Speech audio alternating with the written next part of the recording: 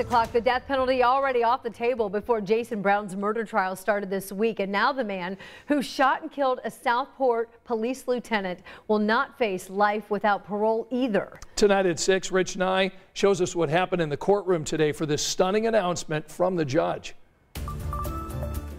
Judge Mark Stoner ruled that prosecutors failed to prove that Jason Brown knew that Lieutenant Aaron Allen was a police officer, crawling into the overturned car in July 2017. Brown was hanging from his seatbelt when he fired 18 shots, hitting Lieutenant Allen at least 10 times. It wasn't enough that Lieutenant Allen is in his police uniform.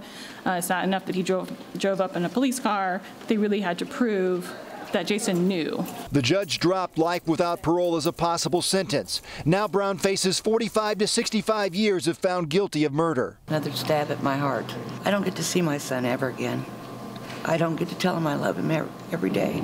The trial resumes Monday with the defense presenting its case that Jason Brown suffered a head injury during the car crash and was not aware of his actions when he shot and killed Lieutenant Allen.